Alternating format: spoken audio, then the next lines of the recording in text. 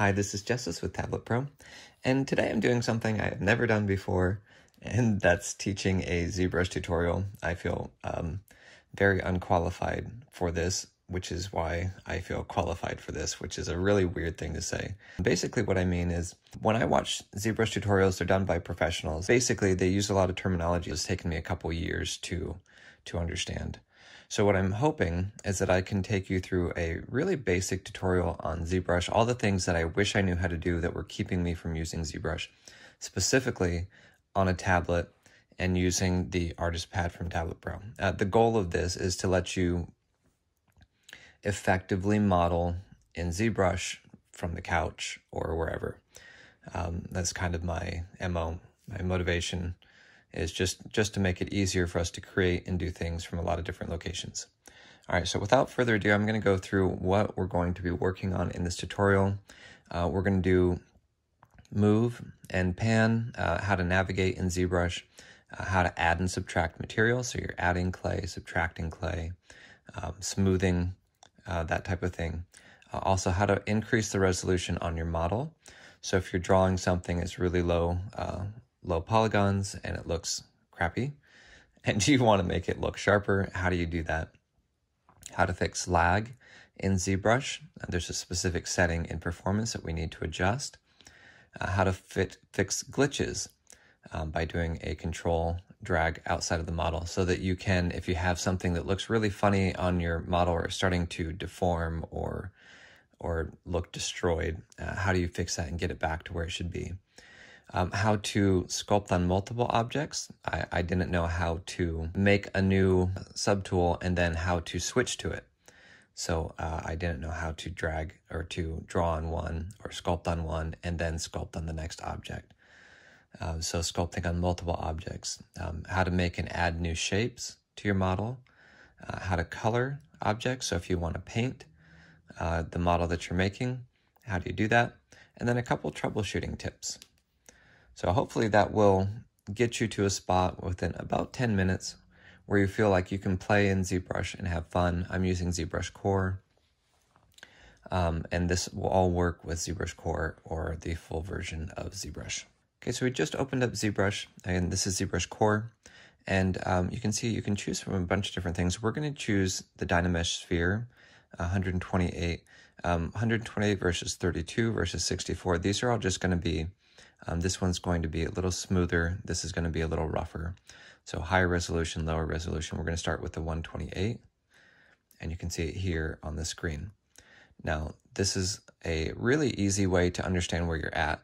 Now, if we draw a little plus sign here and pretend it's a nose, you can see exactly how these correlate.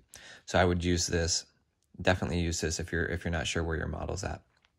All right, so navigation, we're gonna go here, using the artist pad. And you can see we're panning and rotating and zooming in and out on our model. So if you're using the artist pad, this is pretty easy. And that's what this tutorial is about, using the artist pad and ZBrush together.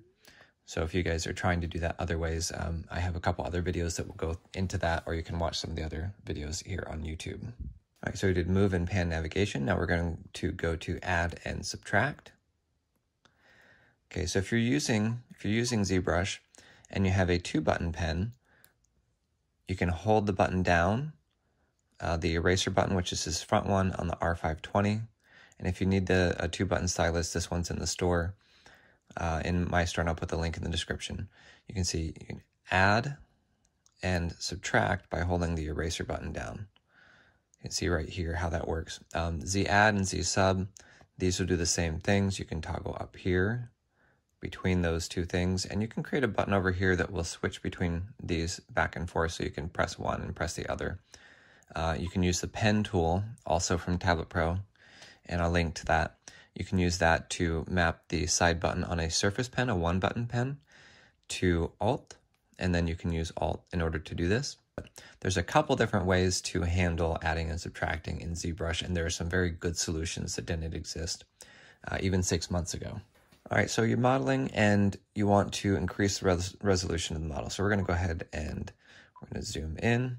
You can see um, here how um, pixelated and how low um, the resolution is on this model.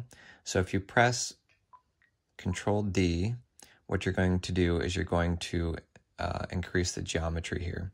So this is dividing. And so what it's doing is just adding more polygons. So it's taking the polygons that existing and um, cutting them into smaller pieces. All right, so now if I draw on the model, you're to see it's a lot smoother than here where the subdivisions are lower.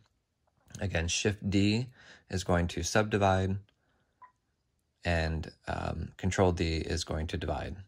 You want to keep in mind that that will slow down your computer. Um, depending on the machine, the higher um, polygon count is going to be harder for the computer to keep up. So how do you fix lag if you get lag? All right, so we're going to go up here into Preferences, Performance, Max Threads, putting this all the way to 8, so you're using the maximum CP, uh, CPU threads, um, actually causes problems. so you'd think that would fix it. It does not. Turning multi-draw off um, can help as well, but that's not actually necessary. Just bring this down, max threads to 6.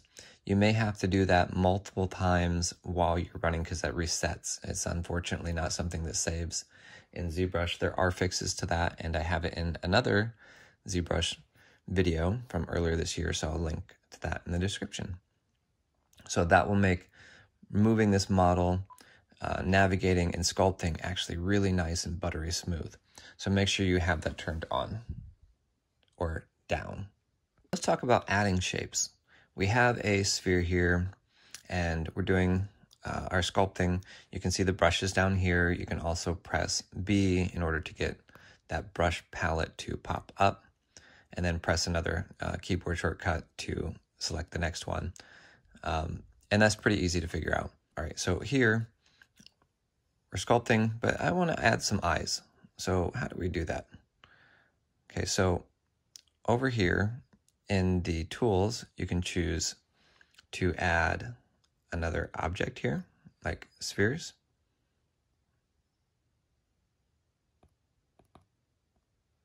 Um, let's do double clicking will get rid of that, by the way. All right, so I clicked on Make Polymesh 3D. So now looking at this, you can see that one uh, object is turned dark, which means is is inactive, and so you can't you can't do anything to the uh, original object, the original that we uh, created. These are the only active ones right now. So uh, what do we do? Well, we're in draw mode. We're going to switch to um, move and this is going to scale them larger and smaller and this will let us move them in and out. So play around with these arrows here. The white one allows you to drag it around the screen. This is going to scale and these are going to deform these cubes here or rectangles here will let you deform the the model. Okay, so that looks okay to me. Um, for right now, that's fine. So we're going to go ahead and um, move back into draw mode. Now, let's say I want to draw on this and I, oh, okay, that's not working the way I want. So I'm going to pick a brush and I try and draw and that doesn't work. It only draws here on this part. So if I hit control and drag off the screen, that's going to add those to my um, model that I already have. Now this is okay, but now I'm drawing, I'm drawing on both things. So let's say I don't want to do that. I want to make one. So uh, by the way, that's how you add to that. You can do that a couple different ways. Um, using the um, primitives here is a good way to do it. And then there's a couple other ways that you can do it. All right, so let's say I want to actually add something that doesn't blend with the current model. So I have this right here. Uh, I'm going to go to Subtool and choose Append. And I have created this uh, as a uh, hotkey. So if you hit Control, Alt, and click, you can uh, customize the hotkey. So either way, let's go ahead. I'm going to press the button. We're going to add a sphere. And you can see I made a giant sphere. Again, we're going to switch to move. And you can see, actually it's using just my regular model. So I'm controlling the model that was already there. uh, what I want to do is I want to control the new one. So I'm going to click Alt and tap on it. Okay, now you can see, nope, the same one. so uh, I'm going to go Alt and click. There we go. All right, we're to make that small. Really small. And we're to drag it, rotate, pull it forwards.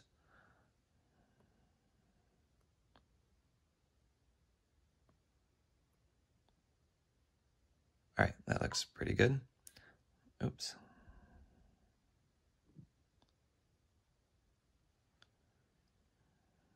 Uh, yeah, that looks fine. All right, so uh, if I click Alt and tap, you're going to see that one stays darker. Click Alt and tap.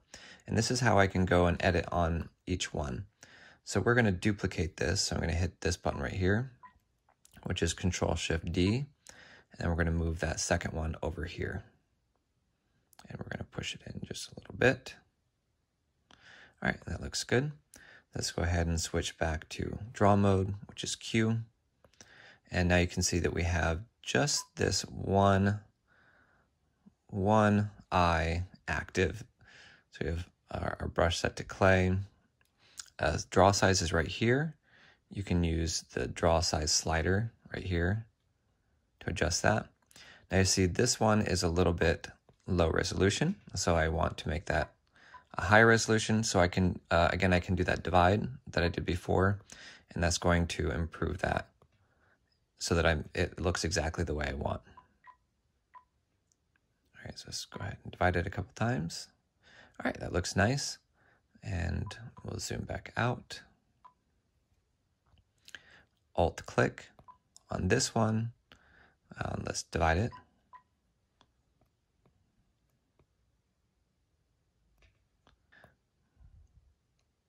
Now that looks a little funny to me. So if something looks a little funny on the screen to you and you're not sure exactly why or what's going on, uh, go ahead and hit Control and drag off of the screen.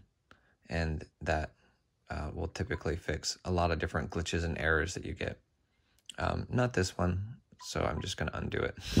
Won't hit click.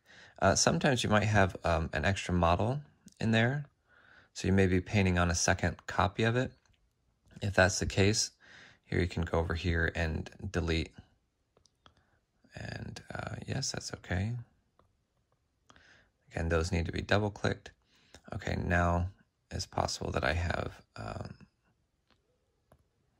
if I sculpt on this, it will, yes, it's working correctly. Good. All right, let's go ahead and divide that again. All right, looks good. Okay, so let's move on to our next part. Okay, we're on to our last section here on how to color the objects. Okay, so let's go ahead and go back here to our model. Now looking at this, this is pretty gray um, because we have the material set as gray. So click material, um, we have MatCap gray. We're gonna choose skin shade and um, keep it here before we even go to painting because we want our, our colors to look white. Um, on the other material, our whites are going to look gray and a fairly dark gray, and we don't really want that. So, all right, right here, um, to get to the right click menu, by the way, you can just tap on one of these.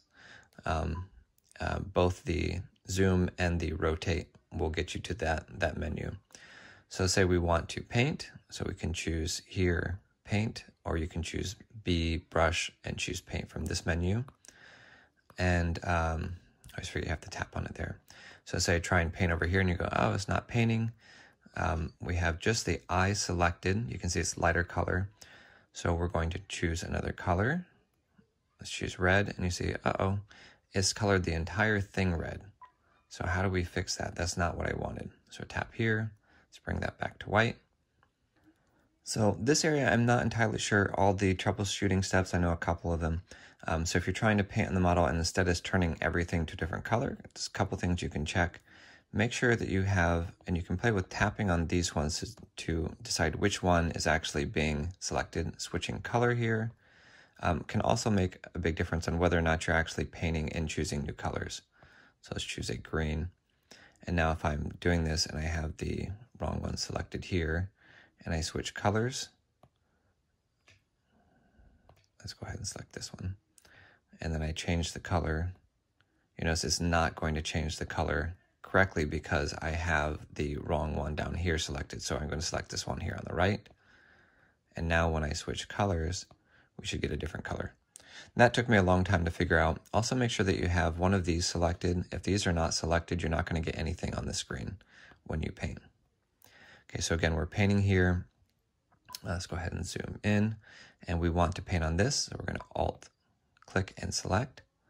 And you can see us that we can now paint directly on here. You can choose different strokes and brushes over here, like freehand. And uh, let's adjust the size of the brush down. I'm to choose right here, and you can see uh, this is really cool. It looks nice, and it's got pressure. If you don't have pressure in your model, um, then uh, you're going to need to install a WinTab driver, and I'll put the link to that also in the description.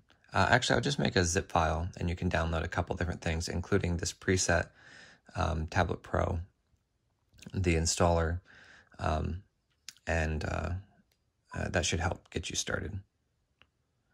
All right, so here's our model. I think that's most of the things that, that I didn't know how to do in the beginning that I really wish that I understood.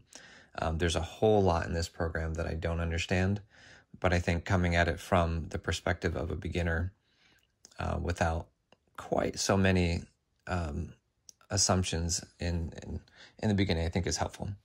So if you guys found this useful, you can now model inside of ZBrush. Um, actually, we didn't talk about one thing here. So let's go ahead. We're going to switch to a brush here. And let's go ahead and increase the draw size.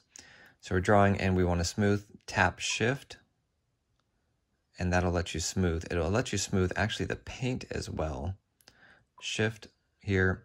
If there's a section that you don't want to paint, let's bring the draw size down, tap control. This is going to mask. So now when we do something, like if we go to paint, this is going to let me paint right around this, just like we put a masking tape on a wall that we were painting. And now you'll see here, to take that mask, to take it off, you can uh, drag here. Um, if you want to invert the mask, then you just click on the screen after control, tap control, and then tap the screen.